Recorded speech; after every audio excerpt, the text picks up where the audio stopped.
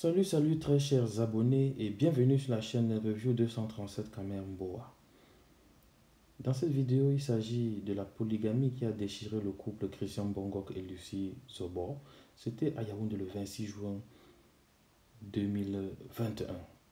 Alors, nous écouterons la version des faits de Dame Lucie Sobor et qui nous donne plus de précisions sur les causes de la déchéance de ce mariage civil. Alors, restez scotchés. Alors, surtout à ceux qui ne sont pas encore abonnés à notre chaîne, abonnez-vous et activez la cloche de notification pour ne pas rater les prochaines vidéos. À raconter, je ne peux pas tout vous expliquer sur écrit. Franchement, c'est toute une vie. Et vraiment, je ne peux pas, je ne peux vraiment pas le dénigrer. Il faisait de son mieux, c'est un homme brave. Il n'avait rien au départ. il se battait aussi, il faisait des chantiers et tout.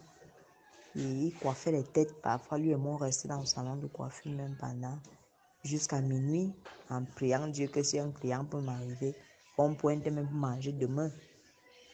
Bon, quand j'accouche je, dans mon premier fils, c'est là où on l'appelle en tant que temporaire d'une société sous-traitant de la SDP. Je dis Dieu merci, ça va aller. Étant donné que j'étais déjà enceinte, j'ai accouché, j'ai arrêté mes études en troisième. Bon, quand j'accouche, après quelques années, donc, ça a commencé à évoluer. Le salaire était minimal, plus de 70 000. On faisait comme si on vivait bien, franchement. Chaque mois, il fallait acheter un truc à la maison pour bien évoluer et tout. Étant donné que ma famille n'était même pas d'abord d'accord que je vive avec lui pour l'instant, mais je voyais, je voyais mal de le laisser seul. Parce que même sa mère ne voulait pas qu'il parte vivre. Parce que quand je l'ai connu, il était chez ses parents. Et je lui ai dit, je ne peux pas souvent venir rester avec toi ici. Il faut que tu cherches une chambre. là où il cherche une chambre avec ses amis. Ses amis aujourd'hui là sont venus ici chez moi, ils sont dépassés. Ils sont dépassés par son attitude parce que tout le monde me soutient tellement. Parce qu'ils savent que je l'ai vraiment soutenu. On cherche dans une chambre, ensuite c'est un studio. On continue donc à à évoluer ainsi. C'est lorsque monsieur devient donc un membre, donc on l'appelle donc maintenant la SDP qui change.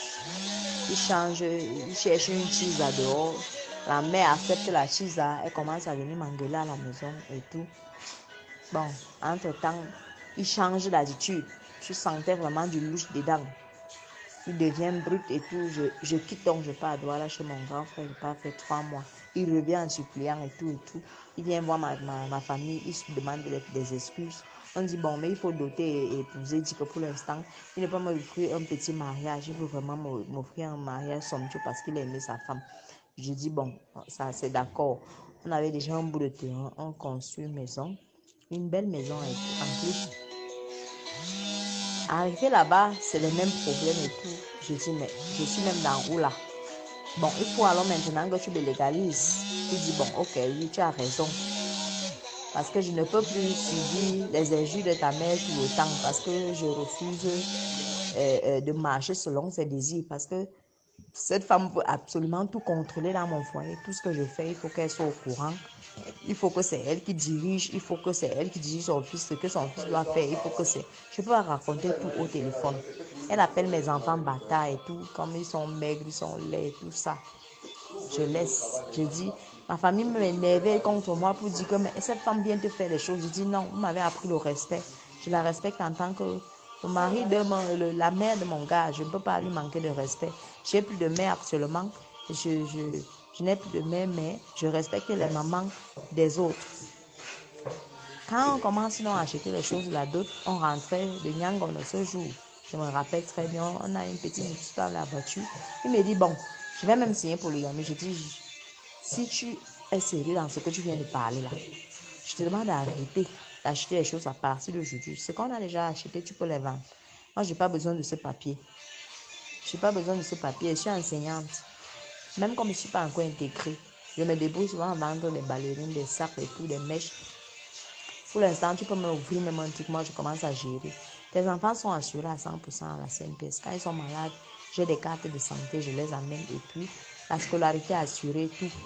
À la fin d'année, ils sont bien, bien habillés grâce à SCDP. Donc, je ne sais pas pourquoi je vais aller m'embourber dans un puits parce que ta mère, depuis des années, elle veut absolument que tu aies une deuxième femme. Donc, je ne suis pas là. Arrête-moi ça.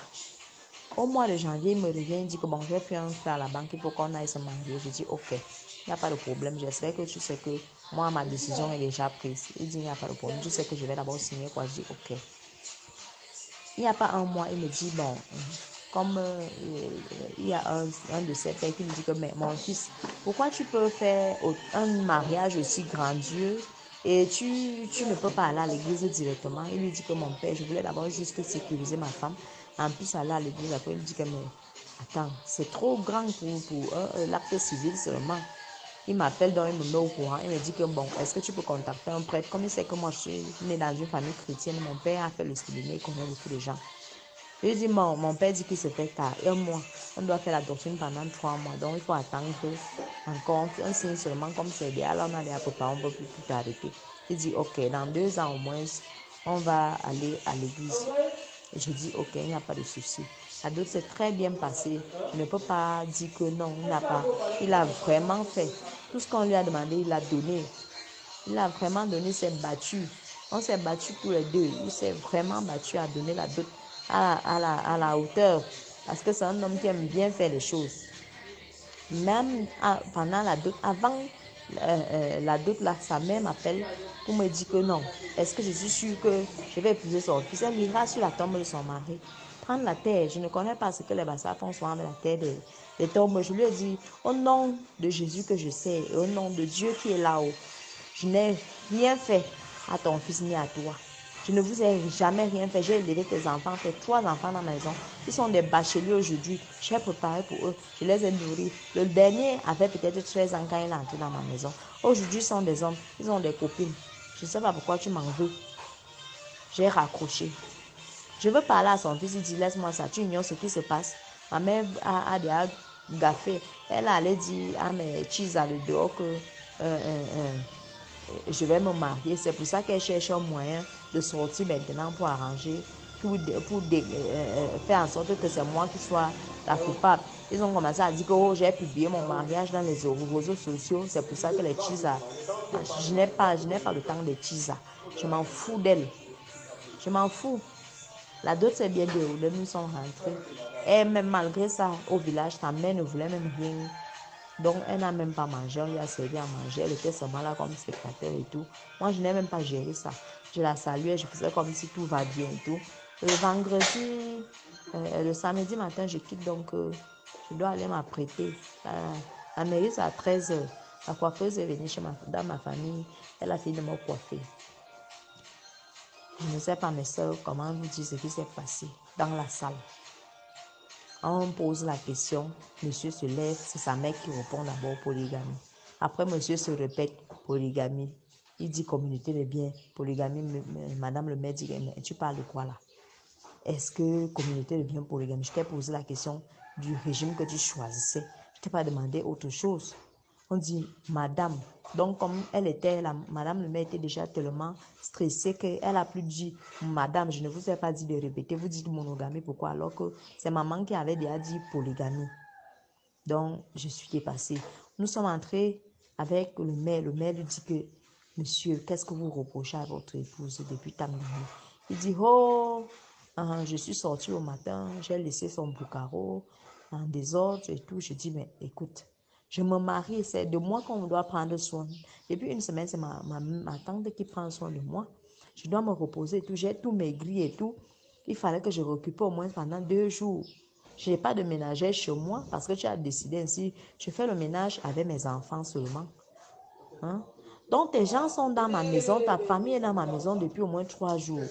Tes cousines sont là, elles ne font pas le ménage, elles ne font rien. Les gens sont en train de préparer par-ci, par-là. On a peut-être tout pour la soirée. Et tu voulais que je me lève, je commence encore à faire du ménage avant mon mariage.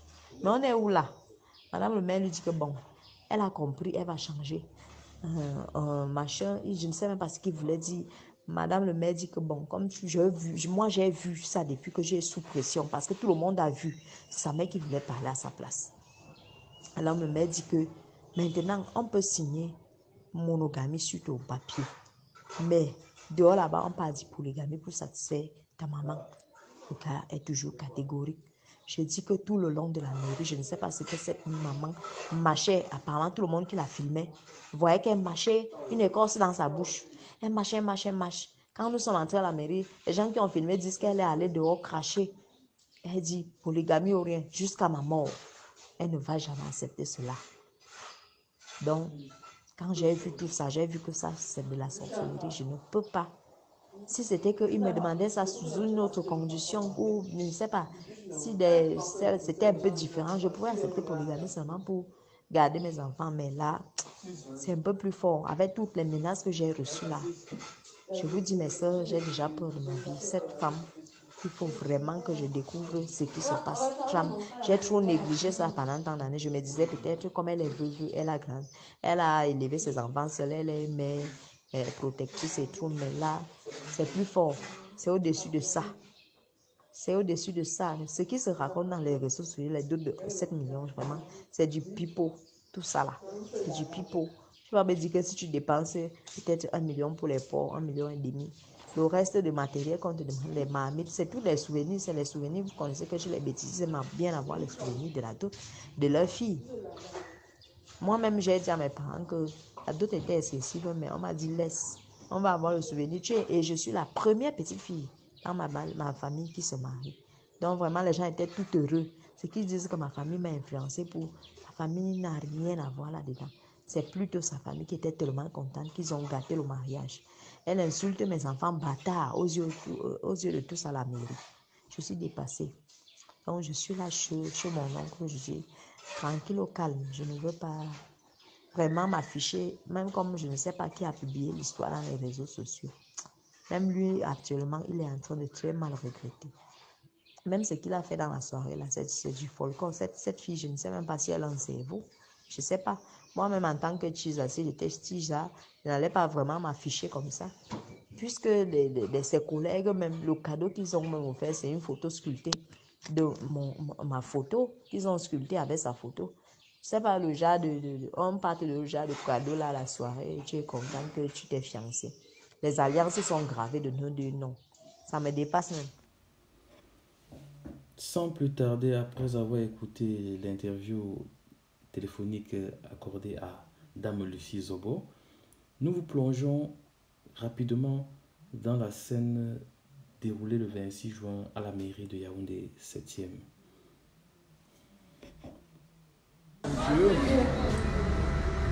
La communauté des biens sous un régime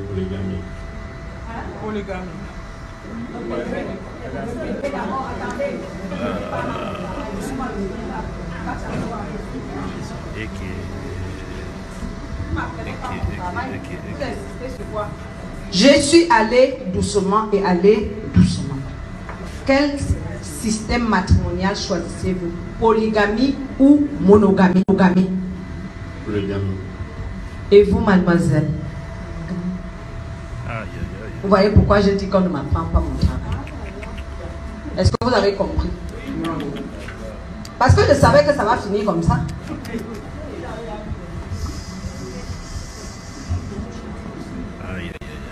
Maman, quand vous dites monogamie, c'est pas toi qui te maries, ce sont eux. Laisse-les choisir. Alors lui dit polygamie, elle dit monogamie. Vous annoncez que le mariage est annulé. Yo. Ben, et la chop du son, on fait comment Agression.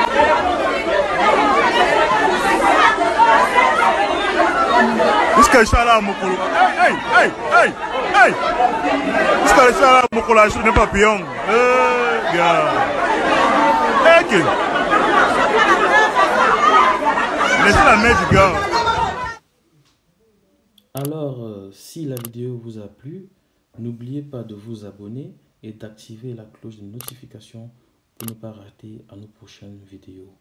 Sur ce, passez un agréable moment.